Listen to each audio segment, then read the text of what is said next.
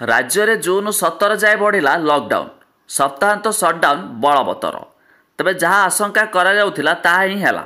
ଦୁଇଟି ଲକଡାଉନ୍ ସତ୍ତ୍ୱେ ବି ରାଜ୍ୟରେ ଆଶା ଅନୁଯାୟୀ ସଂକ୍ରମଣ ନ କମିବାରୁ ରାଜ୍ୟ ସରକାର ପୁଣି ଥରେ ଲକଡାଉନ୍ ଅବଧିକୁ ବୃଦ୍ଧି କରିଛନ୍ତି।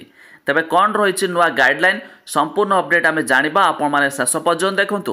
ବାସ୍ ତା ପୂର୍ବରୁ ଫଟାଫଟ ଭିଡ଼ିଓକୁ ଲାଇକ୍ କରିଦିଅନ୍ତୁ। ଯଦି ସବସ୍କ୍ରାଇବ୍ କରିନାହାନ୍ତି ଏବେ ସବସ୍କ୍ରାଇବ୍ କରି ପାଖରେ ଥିବା ଘଟି ଚିହ୍ନକୁ ଦବାଇ ଦିଅନ୍ତୁ। ଜୁନ୍ ଏକ ସକାଳ ପାଞ୍ଚଟାରେ ସରୁଥିବା ଲକଡାଉନ୍ ଅବଧିକୁ ଜୁନ୍ ସତର ସକାଳ ପାଞ୍ଚଟା ଯାଏ ବଢ଼ାଯାଇଛି। ଏଥିସହ ସପ୍ତାହାନ୍ତ ସଟ୍ଡାଉନ୍ ମଧ୍ୟ ଜାରି ରହିବ। ତେବେ ସଟ୍ଡାଉନ୍ ଶୁକ୍ରବାର ସନ୍ଧ୍ୟା ଛଅଟାରୁ ସୋମବାର ସକାଳ ଛଅଟା ଯାଏ ଜାରି ରହିବ। ଏନେଇ ମୁଖ୍ୟ ଶାସନ ସଚିବ ସୁରେଶ ମହାପାତ୍ର ରବିବାର ଘୋଷଣା କରିଛନ୍ତି। ତେବେ ରାଜ୍ୟ ସରକାରଙ୍କ ବିଜ୍ଞପ୍ତି ଅନୁଯାୟୀ କରୋନା ସ୍ଥିତିକୁ ଦୃଷ୍ଟିରେ ରଖି ରାଜ୍ୟରେ ଷୋହଳ ଦିନ ଅର୍ଥାତ୍ ଜୁନ୍ ସତର ସକାଳ ଛଅଟା ଯାଏ ଲକଡାଉନ୍ ଅବଧି ଲାଗୁ କରାଯାଇଛି। ହେଲେ ଲକଡାଉନ୍ ସମୟରେ ଟିକାକରଣ ସହ ଜରୁରୀକାଳୀନ ସେବା ମଧ୍ୟ ଜାରି ରହିବ। ତେବେ ସପ୍ତାହାନ୍ତ ସଟ୍ଡାଉନ୍ ଶୁକ୍ରବାର ସନ୍ଧ୍ୟା ଛଅଟାରୁ ସୋମବାର ଛଅଟା ଯାଏ କରାଯାଇଛି। ତେବେ ପୂର୍ବ ଲକଡାଉନ୍ରେ ଜାରି ସମସ୍ତ କଟକଣା ପୂର୍ବ ପରି ଜାରି ରହିବ।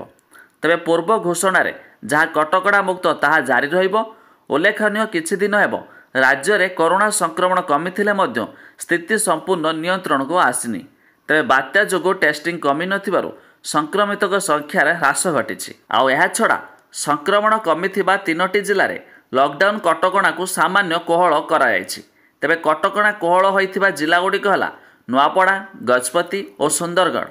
ଏହି ତିନୋଟି ଜିଲ୍ଲାରେ ସକାଳ ସାତଟାରୁ ଦିନ ଏଗାରଟା ଯାଏ କେବଳ ସେଲୁନ୍ ସ୍ପା ଓ ମଲ୍କୁ ଛାଡ଼ି ବାକି ସବୁ ଦୋକାନ ଖୋଲା ରହିବ।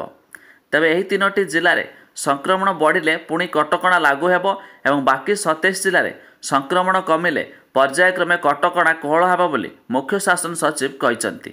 ତେବେ ରାଜ୍ୟରେ କରୋନା ଦ୍ୱିତୀୟ ଲହରକୁ କାବୁ କରିବା ପାଇଁ ପ୍ରଥମେ ମେ ପାଞ୍ଚରୁ ଉଣେଇଶ ଯାଏ ଲକଡାଉନ୍ ଘୋଷଣା ହୋଇଥିଲା ଯାହାକୁ ପରେ ଜୁନ୍ ଏକ ଯାଏ ଏବଂ ଆଜି ପୁଣି ଜୁନ୍ ସତର ଯାଏ ରାଜ୍ୟ ସରକାର ବୃଦ୍ଧି କରିଛନ୍ତି।